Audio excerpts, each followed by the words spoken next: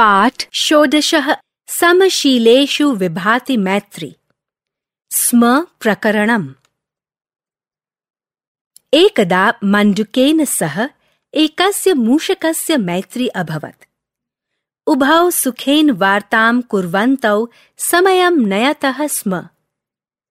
एकस्मिन् दिवसे तौ अचिन्तयताम् यत् अत्र आवयोः भोजनं दुर्लभं जातम् अतः अन्यत्र गत्वा जीवनयापनं कुर्याव। एक बार मेढक के साथ एक चूहे की मित्रता हो गई। दोनों सुखपूर्वक बातचीत करते हुए समय बिताते थे।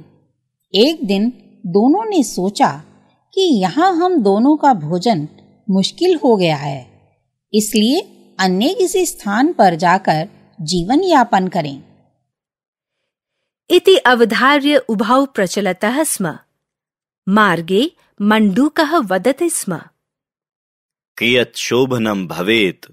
यदि सूत्रेण दृढेन आवयोः शरीरे बद्धे स्याताम् कदापि वियोगः एव न भविष्यति। सर्वत्र सह एव गमिष्यावः। मूषकः तस्य वचनस्य स्वागतं करोति स्म। तत्र सूत्रेण शरीरे निबध्य, तौ अग्रे सरतः स्म। यह विचार करके दोनों चल दिए। रास्ते में मेंढक बोला इन्ना अच्छा होता, यदि हम दोनों के शरीर मज़बूत धागे से बंधे हों, कभी भी अलग ही नहीं होंगे, सभी जगह एक साथ ही जाएँगे। चूहे ने उसकी बात का स्वागत किया। वहाँ दोनों शरीर को धागे से बांधकर आगे बढ़ने लगे। मण्डुकः स्वभावेन उत्पल्युत्य गच्छति स्म। सूत्रबद्धः मूषकः एवं विधया गत्या कष्टमनुभवति स्म। अग्रे गत्वा तौम् एकं तडागं पश्यतः स्म। जलं तु मण्डूकस्य प्रिया क्रीडास्थली। जलं दृष्ट्वा मुदितः मण्डूकः तस्मिन् कूर्दति। स्म, जलक्रीडां च अकरोत्। परं मूषकस्य दशा जले शोचनीया अभवत्। सः तरणं न जानाति स्म। सः मित्रं पुनः पुनः प्रार्थयत्। बहिः निस्सरतु भवान्, अहं जले वस्तुं न शक्नोमि। किन्तु टर् टर् कुर्वाणः मण्डूकः किमपि न शृणोति स्म। अत्रान्तरे एकेन श्येनेन जलात् निःसृतं यत्मानः मूषकः दृष्टः। सः झटित्यैव नीचैः आगत्य अभिपत्य च मूषकं गृहीत्वा आकाशम् उत्पतति स्म। मूषकेण सह सूत्रबद्धः मण्डूकः अपि तस्य शेनस्य स्वादुभोजनम् अभवत्। मेंढक स्वभाव से ही उछलते हुए जा रहा था।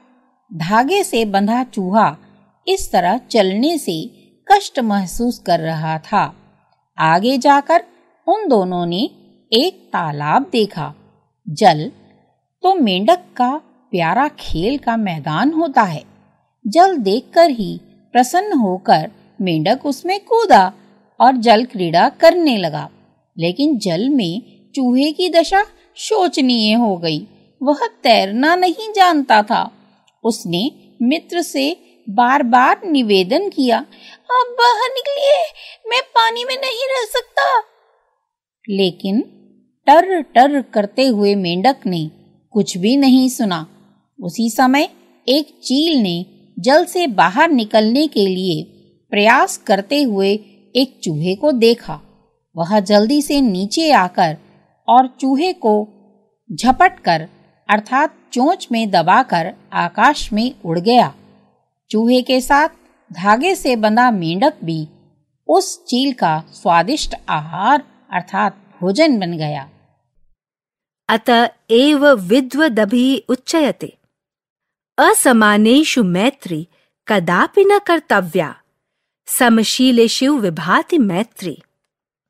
इसीलिए विद्वानों का कथन है, अपने से भिन्न के साथ मित्रता कभी नहीं करनी चाहिए। समान के साथ ही मित्रता शोभा देती है।